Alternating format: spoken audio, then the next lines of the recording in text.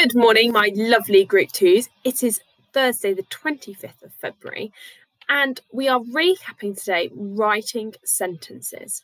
So, your first challenge for today is to have a look at the picture, and it's got some words missing, it's got some gaps. Now, it's given you the first sound of every word, but I'd like you to see if you can write down some of these words. So, for example, can you see at the top it's got the letter S and it is pointing to a sun? I'd like you to see if you can write down the word sun. So, you might need to sound out S, uh, n, sun, and see if you can write it down. Now, you don't have to do all of these words, you can just pick and choose some of the ones you want to, but they may help you with your next task. Now, let's see. Ooh. There we go. Your challenge for today is to write a short story about a farm. Now, as you, most of you know, Miss Sanderson is quite passionate about farming, as she does live on a farm herself.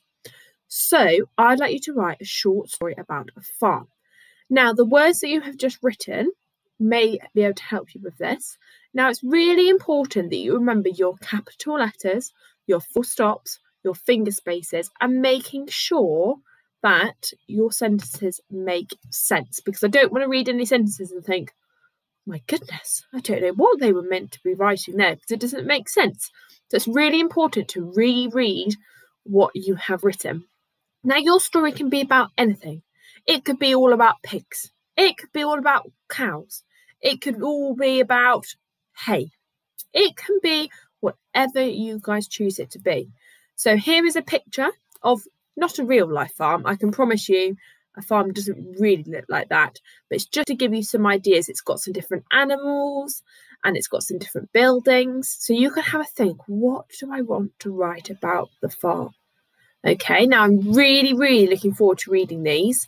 Okay, so if your parents could, or you're grown up, could upload them onto Tapestry, that would be amazing. Now, I know that writing is really hard and it is challenging, but I know that you guys can do this. And This is our last phonics lesson of the week. And then next week, we are moving on to a brand new phase three phonics, which is where you'll be learning brand new sounds. So it's really important that I can just check that you guys know how to write your sentences before we can then move on. Okay, have a lovely rest of your day, everybody, and I'll speak to you soon. Bye.